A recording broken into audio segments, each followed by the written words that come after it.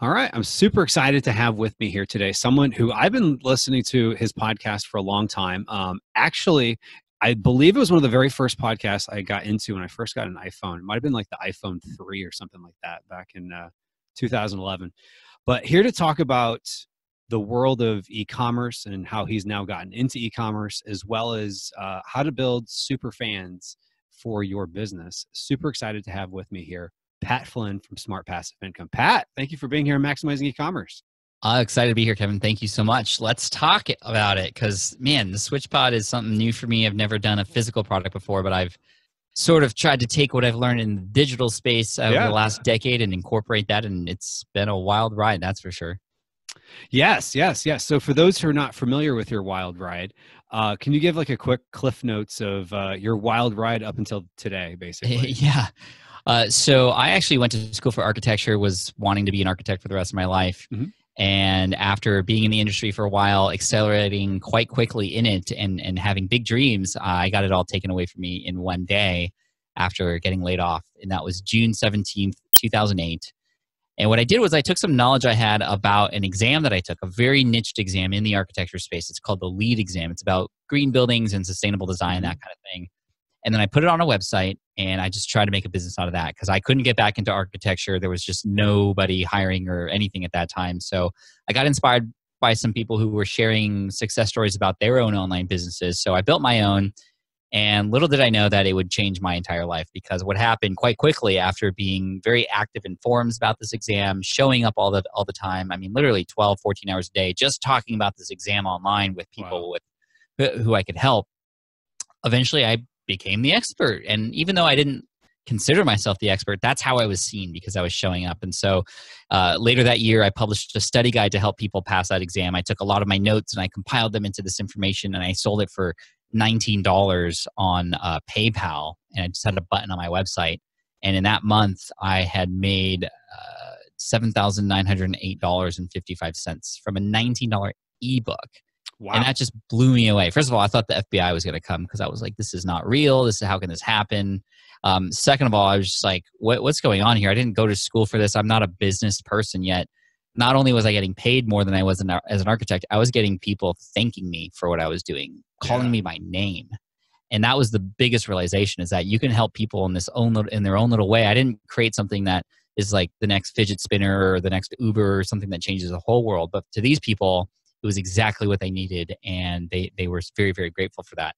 So then i built smartpassiveincome.com which is a business uh, and a brand and a blog that later turned into a podcast and all the things i have going on now to just basically be upfront and show people how i did that.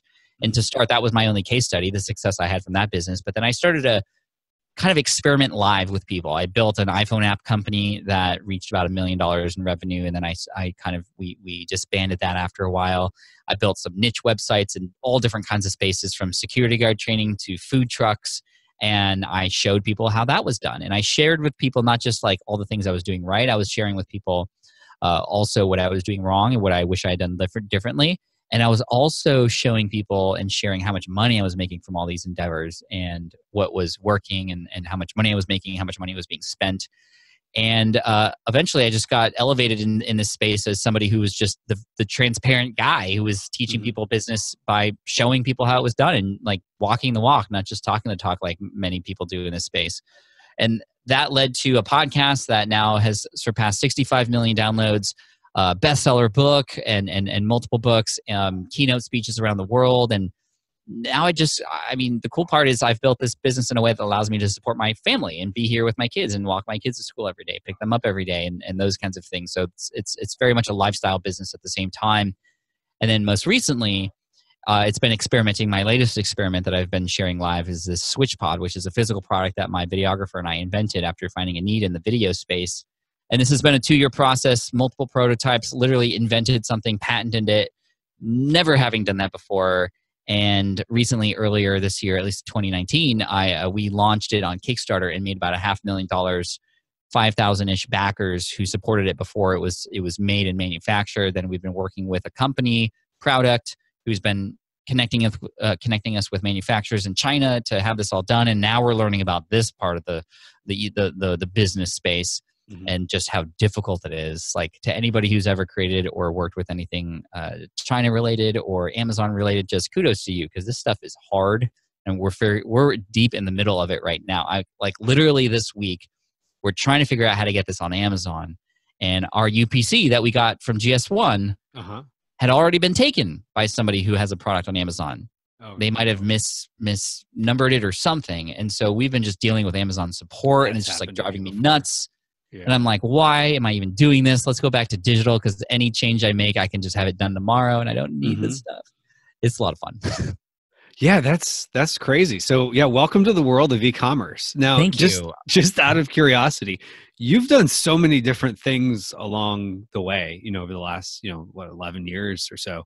So, what made you not do e-commerce five six years ago? Just out of curiosity. Yeah, I mean, I was always in the in the camp of just digital, digital, digital. Mm-hmm. Why would you even attempt a physical product? Because mm-hmm. there's so much more involved. There's, the margins are much less, and there's so many more pieces that have to move and, and, and shipping and returns. Like digital is so much easier. That's what I started with, and that's what I always recommended.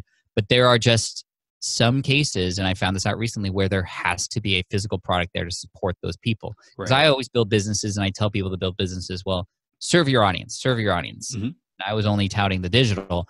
Sometimes people need the physical product to help them, and it be, it became very apparent when my uh, business partner Caleb and I, he was also my videographer for my digital stuff. We went to an event called Vid Summit, and we noticed everybody there using those bendy tripods to hold their cameras a little bit further away from them to get a better wider angle on their mm. cameras but then they would struggle with them opening them closing them we're like there's got to be a better way like there has to be because there's so many like there's 10 million GorillaPods used in the world and there, there has to be somebody who came up with a better solution and there wasn't. Mm-hmm. so we're like okay we know there's this pain. Come on we're business owners. There's an opportunity here. Like let's let's do something. So right. immediately we connected with a guy who we knew who was also at that conference called uh, his name is richie. He has a he has a company called product. He helps entrepreneurs who don't know anything about physical products like us uh, get those physical physical products made. And um, he, we were like, Richie, what do we do? He's like, just talk to people, man. Like that's the first thing you need to do. Ask people what they need help with, what their ideal situation would be, what they hate about what they have, what they wish they had instead. You're going to learn so much by doing that. Don't draw anything. Don't don't create anything yet. You need to do the customer research. And luckily, we just happened to be where those people were. So after all these conversations, we're like, whoa, there is an apparent need here. So we had that green light to just keep going with it. And we cut out a piece of cardboard into a shape and we're just like does this shape work? What do you think? What do you think? And they're like what is this? Is this cardboard. And we're like no no. Imagine like a camera on top of this. And like oh okay. And then what if the legs did this? Oh yeah okay. Well i need to see it to see what, what that might be like so then we worked with uh, Richie to get the 3D printed prototypes mm-hmm. made, and they, they were clunky, they broke, they didn't work, but it gave people an understanding of, oh, that's what you meant. Okay, well, I think it should be shorter. This grip doesn't work, or, you know, I want grips going all the way up the neck. And wow, okay, so then 17 iterations and two years later, we finally came to a point with a metal prototype that cost $1,500 because we got those green lights all along the way with those crude versions mm-hmm. to then have the confidence to, to launch it on Kickstarter and have some beautiful imagery behind it and the endorsement of some amazing influencers who help support us along the way through relationships that we were just building um, all along the way. And, and, and our audiences knew this was coming because we were very open with the process the entire way such that when we launched it, it wasn't a surprise. They all knew it was coming. And many people in my audience in particular, they're not videographers. Caleb's audience is, but my audience like many people bought the product just because they were so interested in the story behind it. They don't even need it. And and and that helped to bring it to success. And now we're in retail stores online like b&h photo and and we're we're going to be going on amazon cross our fingers hopefully before the holiday here. And maybe best buy maybe target who knows? But we're having a lot of fun and all the money that we're making we're just putting back in for more inventory and better products and we're we're adding new products to the line very soon. Like it's so it's so much fun. I wish I had done physical products sooner because there's just something that happens when a person holds the thing that you made or created or, or gave to them that just doesn't happen in in the digital space. Like I could hold, I can hand over a switch pod to somebody and they go, yes, this is exactly what I needed, and they can use it immediately. When it comes to like courses, mm-hmm. they can go, yeah, that's the course I need, and they they buy it and they go, okay, now I have to do the work now i have to like wait for things to happen and like six weeks later then they get the result it's completely different. Yeah, that's so true. I mean, because there there is something about just the tangible nature of physical products, which I find to be a lot of fun, and I think my mind wraps my head around it, uh, wrap my head around it, uh, pretty well because you know it's something that's like you know if you're selling you know a water container or something like that, you know it's like yeah.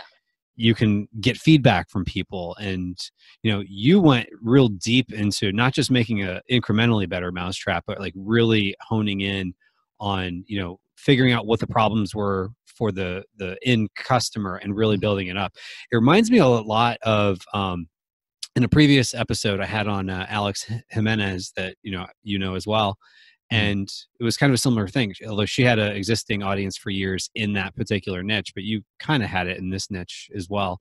Um, so you created the relationships of the influencers, and then you basically had you know people re- lined up ready to go when the um, when when you're ready to basically put it up for sale. So, yeah. Um, what what was it like when you first started getting the sales in? Huh.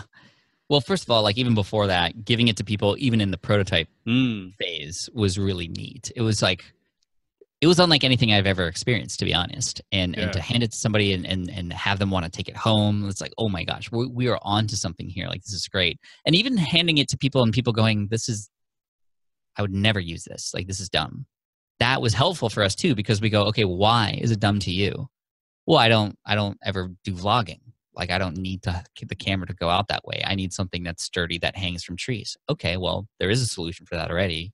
You should probably get the gorillapod mm. you are not in our target audience. So that that even the negative feedback helped us too to hone in on who our target audience is.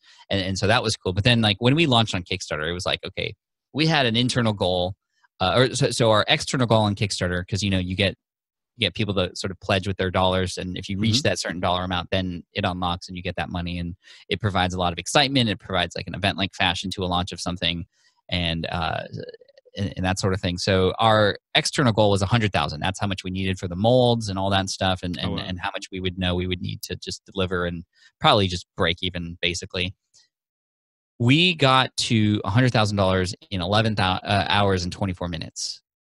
It's a 60 day campaign. We we got our goal in less than 12 hours. And I like even some of those first sales coming in, we just like Kickstarter also updates live. So you just see the numbers like flowing like over mm-hmm. over time across the day.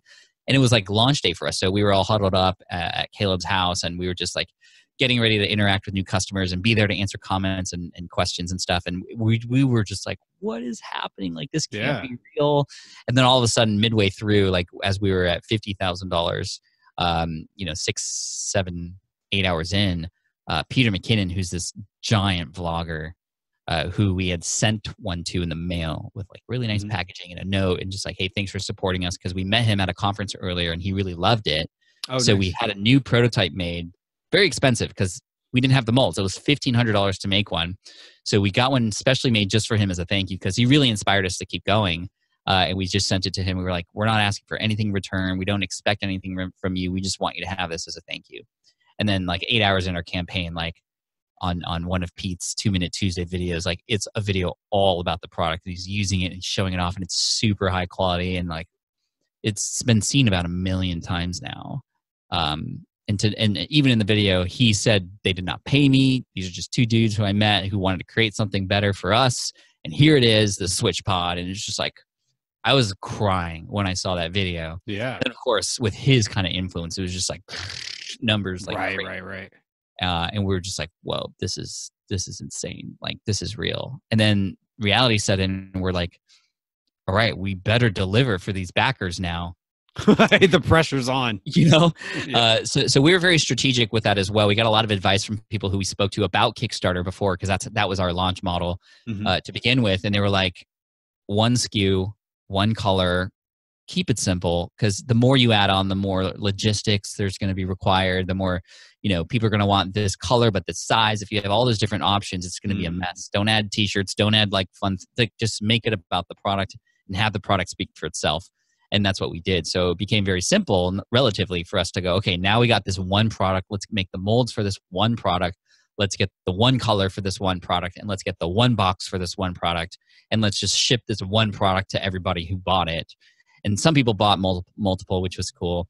And um, and we were able to get it shipped out in time, two years after the idea was conceived, and it was perfect because a week after we shipped was Vid Summit 2019. So two years later, in the same location where that uh, that that idea was born, we worked out a deal with that uh, the founder of that uh, event Derral Eves um, just amazing guy. Mm-hmm. uh, we worked out a deal where he would purchase one for all the attendees that year and we had a keynote on stage to finish the event to talk about and, and, and tell the story. Okay. And big time vloggers were there too so we kind of all split it uh, split the cost of what it would be to manufacture 1500 of them just for the uh-huh. attendees there. And it was cool because at the end of the conference we both caleb and i were up on stage telling the story and usually when you know you have a sponsor on stage telling a story you know there's going to be like a pitch for the product or whatever. Everybody already had the product. Everybody was already using it. So we just told our story and pitch free and just eh, we got a standing ovation. Everybody loved it. We had them sign up for the affiliate program and just people were sharing it. And because it was on sale on shopify at the time Okay. Like our sales, just from the nature of people getting it and unboxing it and filming themselves doing so and sharing it with their own audiences. I mean, we were selling many, many more units per day, and and and that month was our record month for us, the best month we've had since the Kickstarter campaign because it's been available for pre-sale since. And now we're in Amazon mode. We're in trying to figure out how to add new products to the line, more SKUs, accessories, that sort of thing. It's so much fun. I it's so much fun. It's so crazy. So yeah, we're having a blast. That's awesome. That's awesome. Now, a lot of people listening to this are saying, "Wow, you went all backwards, Pat. You're going to Amazon last because so many people listening to this have started on Amazon." That's what we heard, yeah. yes, yes, yes. So, one question a lot of people are going to have is there's this mindset people have is like I put things on Amazon, I put in keywords, I run PPC, I do giveaways, I do whatever I do to launch it on Amazon, and then the sales just happen. Mm-hmm. Now, I'm assuming with Kickstarter, it's not just you put it on Kickstarter and it just happens. So that you probably had to do something to bring people to that Kickstarter. What did you do to make sure people got there? So of course, like I said, that that influencer relationship was really important, and, and sure. there were a few other key influencer relationships that we had where uh, we were coming from a place of service and we wanted to, to, to help them. And as a result they wanted to help us back which was great. And that's that's really the way to do it. But it was a lot of telling the story of the creation along the way mm. that got people involved in the process. These are things that i talk about in my book superfans and i think where i came from was okay we have we, we don't even know what we're doing. But what i do know how to do is to get people in, involved in the story. So let's tell the mm-hmm. story of the switch pod. Let's really get in on that and, and, and bring people along for the ride.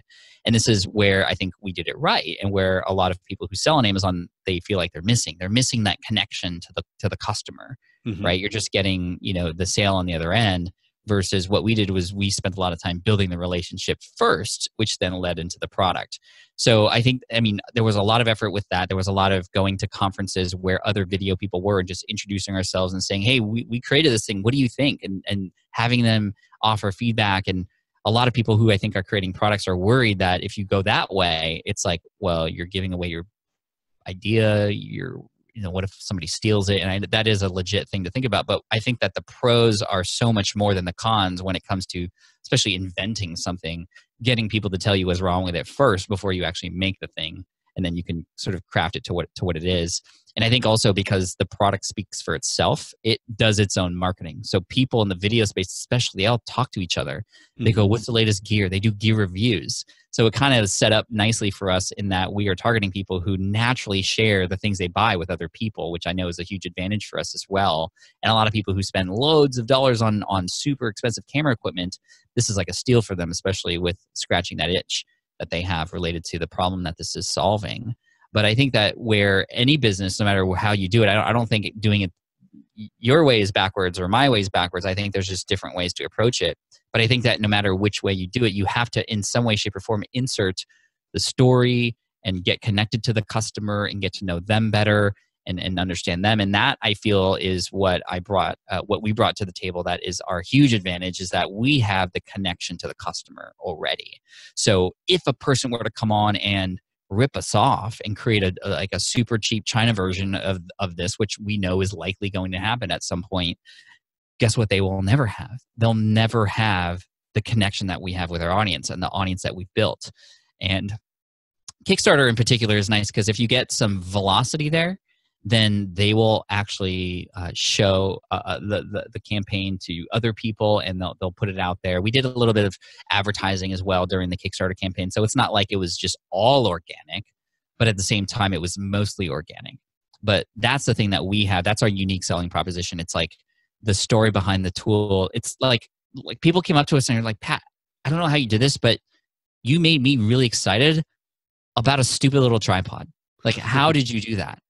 Right. And it's like, it is really just, it's a tripod and it does, you know, the legs come together and you can hold it in a fancy way that nobody else has done. But it was because we made the story about them, the creator being the one who gets to use this tool as like their lightsaber, if you will, in their mm-hmm. battle against you know fighting for the best shot right or, or whatever uh, we didn't paint that story in particular but when you open the box it's made for creators by creators me and caleb are creators but this right. was also made for by the community itself so bringing them along in the story makes them feel like they're a part of something so that now we're at that point in a very i hate to make this comparison but like in an apple like way now when we have something new to sell they're likely going to know that it is something that was influenced by the rest of the community and mm. they'll be waiting for it but before they even know what it is and they have they're they are they're already asking us like what's your next product like we're giving them a sense of we are the team who's finally stepping up for vloggers to create things that they they've actually been needing this whole time. So i don't know if that that helps but but but getting into the customer's head and, and being with them and and, and offering uh, our product as a service to them versus just hey here's a problem that can solve Here, here's a solution for your problem and go get it and buy we'll never see you again. I mean we love the relationship part of it and and have our backers very much to thank for that yeah that's awesome. So it sounds like you developed the super fans uh, which i think is a good segue into you know the book itself. So it's basically you lived what was in the book. Yeah. Um, so tell me for let's say someone is like they're listening and they're mostly on amazon but maybe they have a shopify store got a handful of sales what are some things they could do to start cultivating you know amazon's a little protective of uh, customer data sure. but when you have your own customer data for like shopify store you can start doing more things what are some little touch points they could do to start building their own super fans yeah, I mean, the, the, the, so super fans aren't created overnight, right? Like you don't listen right. to a song and then the next day you're like dreaming about the band that's saying that song. But you might be going like, "Well, that's a cool song." Or you might share it with a friend, or you mm-hmm. might hear it on the radio again and then turn it up fans are created by the moments you create for them over time mm. and exponentially making them feel more special and special over time. And so there's a number of things I talk about in the book. It starts with just activation moments or little things that you can do to trigger a person who just finds you or just buys your product to go, oh, I like this company. I want to learn a little bit more about them. And the easiest way to do this is to nail the lyrics. So just like a song, right? It's the lyrics of a song that we really connect with in addition to the beat. And the story is mm-hmm. about my wife when uh, she, so my wife april she's a huge backstreet boys fan like ginormous backstreet boys fan which is funny. Somehow we ended up together. I'm an NSYNC fan but it still worked out. Um, so she has this like box of stuff in her closet of all the dolls and action figures of a boy band. It's kind of ridiculous. But i asked her about like the first memory she had about this band and she was like yeah i remember specifically because she had just gone through a bad breakup and she heard one of their songs on the radio. It was actually one that she heard many times before, but she never really paid attention to it until now because every lyric in that song was everything she was going through in that moment. And that song was called Quit Playing Games with My Heart by the Backstreet Boys. And so, you know, they nailed it. Target audience, girls between 13 and 18. What happens in a girl's life at that age? They fall in love, they fall out of mm-hmm. love. How do they talk? They say things like, well, quit playing games with my heart okay, let's write a song about it. And that becomes the language. Mm. So you need to nail the language that your audience, your customers use to describe their problems, their pains, their needs, their wants. Because when you can nail the lyrics, they're going to go, wow, this company knows exactly what I'm going through. And that's a quick and easy way to stand out amongst everybody else who's also just driving noise in their face. Mm-hmm. You can mm-hmm. listen to them and then essentially just regurgitate their problems back to them in a way that they understand then they'll know you have a solution. I think it was Jay Abraham who said if you can define the problem better than your target customer, they're going to automatically assume you have the solution. So that's number one. Uh, another thing to do is make people feel like they're a part of a community. And this is this is sort of like next level. When people feel like they belong, when they feel like they're involved, they invest. When they are involved, they invest. So it's like I remember when I was a kid, I was very short, and my friends unfortunately, were very tall. So what did we do? Of course, we played basketball. So even though they were friendly and they invited me to come on the court with them, they never passed me the ball and they never let me shoot. So even though I was quote unquote on the court, I was never playing basketball actually. Mm-hmm. Even though technically, if you're on the court during a game, you are playing basketball. But I didn't feel like it. And how often do we brands we just make people f- we we just invite people in, but we don't make them feel mm-hmm. like they really belong. So there might be some things that you can do inside the box itself to make people feel like they belong to something much bigger. For example, when you open SwitchPod box, made for creators by creators. Hey, I'm a creator too. This was made by creators. Like, let's, yeah, like I'm in this with you guys mm-hmm. versus just the number one tripod to make shooting easy. Like, okay, that's what the product does. But no, this mm. is about you as the creator. So we're, we're kind of speaking on the same level as as our as our customer right and making them feel like they're in it with us and that's helping them feel like they're a part of a community with us too any moments that you also might have to have your community meet each other a little bit harder for amazon products easier for digital but like facebook groups related to the product or something like that where people can connect with each other and they can share tips about your product with others that can be very good there's a physical product out there that's very popular that does a great job of getting its community to meet each other lego you think about it there oh, are true there's Lego conventions. Mm-hmm. There's Lego. There's BrickFest, BrickCon. Those are actually not even put on by Lego. Lego supports and endorses them because what does that do? Well, it just elevates the brand, bringing their right. community together. Uh, did you know that? Do you know what an AFOL is? A F O L. I'm not familiar. It's a group of people, adult fans of Lego. Oh, so okay. If you look up AFOL meetings, on meetup.com or even on Google, you're going to find thousands of places around the US and the world where adult fans of Lego are coming together because human beings want to find people just like them. So you imagine an adult fan of Lego, they're probably the laughing stock of their neighborhood, right? But when they find other people like them, now there's a common language. And what does that all do uh, eventually? Well, it elevates Lego as a brand because right. you're providing that space for that community to come together. And then the final thing I'll offer is that one easy, quick thing you can do is if if at any point in time you have direct access to your customer, maybe they're following you now on Instagram, right, because of the product, and like, hey, follow us on Instagram and maybe get some deals and stuff, and that's always fine. Easy thing you can do: get your phone, find somebody who's following you on Instagram who you know is a customer, or or just is, is, is a fan of yours or following you for whatever reason. Send them a direct message with mm-hmm. a video number one, they're not getting that from anybody. Number mm-hmm. two, get that from somebody who they bought from is mind blowing. It's going to show that there's a real Absolutely. person, a human being on the other end. It's going to show that you care and you don't do this for any other reason than to just say thank you. When you do it for an agenda, like, oh, by the way, I want to let you know about our Cyber Monday sale, then it, it defeats the whole purpose, right? When you do it for no other reason than to connect, people will connect closer to you. It's you digging your well before you're thirsty when you dig the well when you are thirsty when there is a reason to do it well it's already too late. You're going to be too thirsty to survive.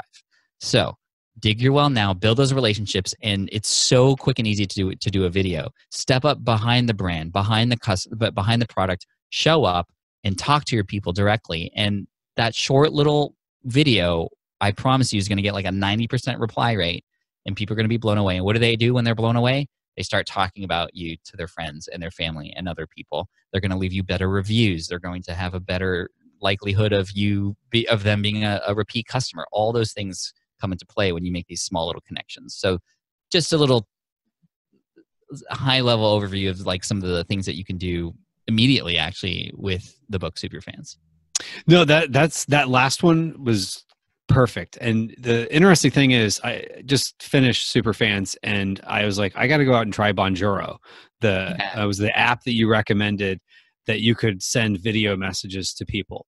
And as much as it made perfect sense that they would do this, I was like floored when all of a sudden I got an email from someone at Bonjoro who was like, Hi, Kevin. Welcome to Bonjoro. She used my name at least five times in the yeah, video. Yeah, and she wanted to know more about my business. I was just like floored, like, but this is the company. It would make sense. So I could right. only imagine for someone that gets that email, you know, who, you know, they just bought your your spatula and you're like, hey, what kind of recipes do you use to make, you know, things right. with the spatula or whatever the case is? They're gonna go nuts. Right and and and and like the switch pod right i can just immediate like and, and we haven't done this yet but we will just we just it's we're a two person company right now but we'll reach back out to somebody who buys our switch pod and go yo thanks for buying the switch pod jake i see your youtube channel is uh, you know growing and i love that video that you just did of whatever i would say the video i wouldn't just say whatever But right. um, you know, just like, hey, thanks for being a customer of SwitchPod. If you have any problems with it, let us know. You rock. I mean, oh my god, like you call me by name and you checked out my YouTube channel. Like you're right. A, you're a tripod company. Okay, cool. All right. And then your friend later later that day goes, oh yeah, what what are you using on your on your on your camera there? Oh, it's a SwitchPod. Dude, by the way, these guys like they reached out to me after I purchased the product. Like that that was so cool. You know, like those kinds of conversations you enable to happen now. Well, and it goes back to what you were saying before of, you know, if you get ripped off and you got competitors that are just all in a race to the bottom, little things like that will keep people around and price is not as much of a factor. No, so it's not. You can charge a premium. Mm-hmm. You can expect that your super fans when they see a rip off product they're going to be on the front lines defending you and and before you even know it they're going to have already done something to get that thing off of off of your plate and that happens all the time with me in the digital space like if somebody like a troll or somebody says some nasty stuff to me on social like i already see like 10 12 people in there from my crew team flynn stepping up to go you're wrong like get out of here like you don't belong here or whatever. And it's it's like crazy. It's like that's that's business insurance right there in my opinion. So true so true so true. So if somebody wanted to follow you online where would they go? Uh, so I would go to smartpassiveincome.com. That's my uh, media company, and, and I talk a lot about business advice there that may or may not be helpful for those of you who are selling on Amazon and doing a lot of e commerce. But there's been more e commerce stuff on there lately. But I'd also recommend patflynn.com, my personal brand site, where I talk about a lot of things, including the SwitchPod, but other things that are important to me, like education for kids and gaming and tech and, and all that kind of stuff, too. So just just more of me if, if you like it. If not, no worries. I just thanks for being here and, and allowing me to come on, Kevin, and, and, share my story a little bit. Awesome, awesome. Yeah, I definitely would recommend people go check out um, what you've got to say out there at Smart Passive Income. Because the interesting thing is, everybody that sells, even if they're like 100% on Amazon, they all have dreams of selling off Amazon. And so I think Superfans is a playbook of how you can build a sustainable brand off Amazon. So definitely, yeah. definitely recommend they go check it out. Thanks, man. Appreciate it. Thank you, everybody. Well, thank you. I appreciate you being here. Take care.